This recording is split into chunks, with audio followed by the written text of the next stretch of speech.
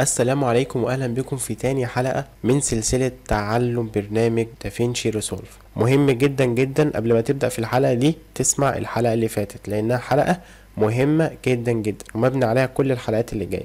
إنك تعرف ال interface بتاعت البرنامج كويس جدا. وعرفنا مع بعض إن إحنا عندنا سبع محاور أساسية البرنامج كله بيدور حواليهم. إن شاء الله بإذن الله إن الحلقة دي هنبدأ ناخد أول محور فيهم وهو الميديا. وهنعرف مع بعض في الحلقة دي إزاي بقدر أضيف الملفات بتاعتي الصور والفيديوهات والصوت أي حاجة. هنعرف إن شاء الله في الحلقة دي إزاي نقدر نضيف الحاجات دي كده للبرنامج بتاعنا علشان نجهز الملفات بتاعتنا عشان بعد كده نقدر نعمل عليه مونتاج. قبل ما نبدأ الحلقة بتاعتنا حاجة مهمة لازم أكد عليك فيها وهي إن أنت لازم تطبق ورايا بإيديك. تمام؟ أي حاجة أنا بعملها لازم تكون مشغل البرنامج وتطبق ورايا بالظبط عشان توصل لنتيجة كويسة. وعشان ما أطولش عليك يلا بينا نبدأ.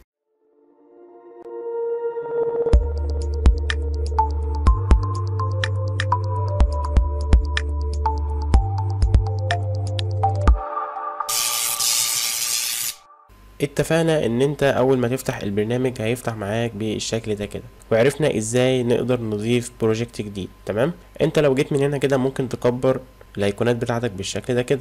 وبرضه انت ممكن تغير ال style بتاعها كده ممكن تخليه عبارة عن list كده. يظهر لك التاريخ ويظهر لك كل البيانات بتاعتك بالشكل ده كده. عايز ترجع تاني من هنا كده. طبعا ال search ده تقدر تبحث عن أي حاجة لو أنت مستخدم هنا مشاريع كتير جميل. نبدأ بعد كده نفتح ال project بتاعنا. ده كده ال project اللي إحنا عملناه الحلقة اللي فاتت. نبدأ بس نضغط عليه double click كده. هيفتح معانا بالشكل الجميل ده كده. دلوقتي بقى نروح لأهم حاجة في الفيديو بتاعنا النهارده وهو إزاي أقدر أضيف الصوت والصورة والفيديو للبرنامج بتاعي. أول حاجة طبعا لازم تتأكد إن أنت فاتح هنا الميديا اللي هي أول محور معانا زي ما اتفقنا. ال tab دي كده الخاصة بأي حاجة أنت عايز تعملها import للبرنامج بتاعك. لو جيت هنا هتلاقي عندك حاجة اسمها Media Storage تمام؟ ومن هنا من ال Media Storage هنا هتلاقي عندك كده اختصارات تقدر توصل بيها للجهاز بتاعك أي حاجة داخلية تقدر تبحث عليها من هنا كده. مجرد إنك تضغط هنا كده هيبدأ يفتح لك ال folderات بتاعتك اللي عندك على الجهاز تمام؟ بالشكل اللي أنت شايفه ده. أو إن أنت ممكن تعمل shortcut خاص بيك. إزاي؟ إنك تيجي هنا كده وتضغط click يمين وتقول له هنا Add New Location بيبدأ يفتح معاك بالشكل ده كده تبدأ بعد كده إيه تختار ال folder بتاعك أو ال data بتاعتك اللي أنت عايز تضيفها. أنا عندي هنا folder أنا كنت مجهزه test سي اي سي مجرد بس إن أنا أختاره كده وأقول له هنا Select Folder وبص بقى اللي هيحصل. هلاقيه انضاف هنا بالشكل ده كده. أهو كان موجود على ال C في ال desktop مجرد إن أنا أضغط عليه كده أهو ده كده الملف بتاعي. دلوقتي إحنا دخلنا صورة وفيديو و audio تمام؟ مجرد بس إن أنت بتقف على الحاجة هنا كده لو ضغطت عليها كده هتلاقيها تيجي معاك في ال preview هنا كده. طب لو ضغطنا على الفيديو ده كده أدي الفيديو بتاعك أهو. ولو أنت وقفت مشيت كده بص هتلاقي الفيديو بتاعك شغال أهو. وبالمناسبة أنت ممكن تكتم الصوت بتاعه من هنا كده تمام؟ ده كده الفيديو بتاعنا. تبدأ تتحرك كده يمين أو شمال. تبدأ إيه؟ تعمل preview على الفيديو بتاعك على الشاشة الخاصة بتاعتك دي كده تمام؟ كمثل برضو ال audio بتاعك مجرد إن أنت تضغط عليه كده هيبدأ يجي عندك في ال preview بتاعك كده. يعني لو شغلنا الصوت كده وجينا هنا كده بص. طبعا أنا بجري ال audio بالشكل اللي أنت شفته ده كده. طبعا أنت ممكن تيجي من هنا كده تكبر إيه الأيقونات بتاعتك كده بشكل طبيعي يعني. آه ممكن تيجي من هنا تعمل sort للحاجات بتاعتك دي ال file name أو ال reel name أو أي حاجة أنت آه طبعا بتحتاجها من هنا تمام؟ وليكن مثلا إيه هنخليها كده file name مفيش أي مشكلة. وطبعا من هنا كده بتبدأ تختار الشكل بتاعك يا إما هو بيكون بالشكل ده كده أو تخليه على شكل list كده يبدأ يجيب لك كل البيانات بتاعتك.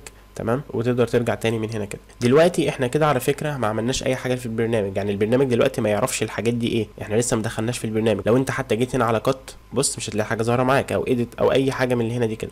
تمام؟ دلوقتي أنا اخترت المسار بتاعي بتاع الملفات بتاعتي ولكن ما دخلتهاش للبرنامج. طب أدخلها للبرنامج إزاي؟ بكل سهولة بمجرد إن أنت تحدد الحاجات بتاعتك اللي أنت عايز تضيفها وتيجي تسحبها كده هتحطها هنا في ال Media Pool بالشكل ده كده. كده الحاجات بتاعتي انضافت للبرنامج. لو انت جيت هنا على ال Cut مثلا كده هتلاقي الملفات بتاعتك موجودة معاك تقدر بقى تشتغل عليها. تمام؟ لو رجعنا تاني هنا للميديا لو قلنا مثلا هنا Control Z ممكن بقى تيجي انت على الصوت ده تضغط click يمين وتقول له هنا Add Into Media Pool هيبدأ يتضاف معاك. أو إن أنت تحددهم كده.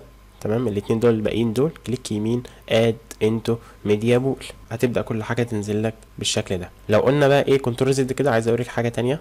كمان Control Z كده. لو بصيت هنا هتلاقي حاجة هنا اسمها ماستر وحرفيا دي حتة جامدة جدا. طب إيه بقى الماستر ده؟ دلوقتي أنت عندك folder حاطط فيه الصور و folder حاطط فيه الفيديوهات و folder حاطط فيه ال- الصوت. يعني مثلا مثلا لو جينا اخترنا أي حاجة من هنا كده ده كده folder أهو تمام؟ لو جينا سحبناه كده وحطيناه هنا في الماستر هنا هتلاقي بص بيقول لك إيه؟ أدي أول حاجة معاك. أو الماستر أهو أول حاجة موجودة عندك ال capture ال folder اللي إحنا ضفناه.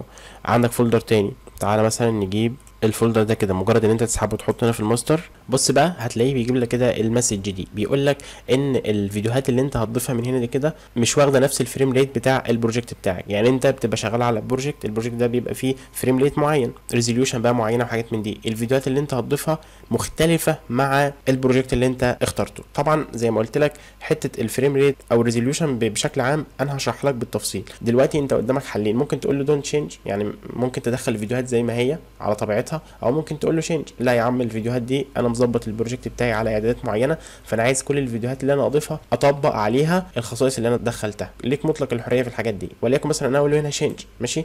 يعني طبق لي الفيديوهات دي زي ال project بتاعي ما هو شغال بالظبط. بص بقى يا معلم كل حاجة بتبدأ تجي لك هنا بالتفصيل. يعني كل الملفات دي كده كلها موجودة أهي. وكمان مضافه لل Media Pool خلي بالك. يعني مجرد مثلا إنك تفتح آه، ال- ال folder ده بيقول لك أنت عندك فيه folderين. لو فتحت ال folder ده أو إن أنت ممكن تيجي من هنا أدي دبلومة التصميم مثلا أهي. بمجرد إن أنت تقف على ال folder هتلاقي كل حاجة انضافت معاك بالشكل الجميل ده كده نرجع بقى كده Control Z كده. ممكن برضو تعمل إيه؟ ممكن تعمل drop للحاجه بتاعتك. بمجرد إن أنت مثلا لو جينا كده على ال desktop وجينا مثلا نضيف الصورة دي كده بمجرد إن أنا أسحبها كده وأجي على البرنامج واعمل drop كده بص هيبدأ يضاف معايا مباشرة في ال Media Pool. تمام؟ يبقى أنا كده علمتك كل الطرق الممكنة إن أنت تقدر تدخل بيها الميديا بتاعتك لل Media Pool أو البرنامج بشكل عام. يبقى دلوقتي إيه اللي موجود معايا في البرنامج؟ هو الصورة دي فقط. لو إحنا جينا على Edit هنا هتلاقي الصورة بتاعتك هي اللي موجودة. يبقى إحنا إيه نرجع تاني نحذف الصورة دي كده. خلينا نشتغل على الحاجات بتاعتنا.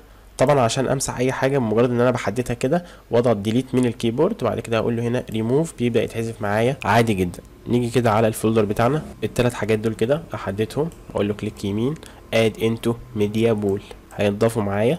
بالشكل ده كده. يبقى دلوقتي نراجع الخطوات تاني عشان تبدأ تضيف الملفات بتاعتك للبرنامج. أول حاجة بتحدد ال track بتاعك أو المسار بتاعك من هنا ولو أنت عملت click يمين Add New Location ال location بيفضل ثابت على فكرة.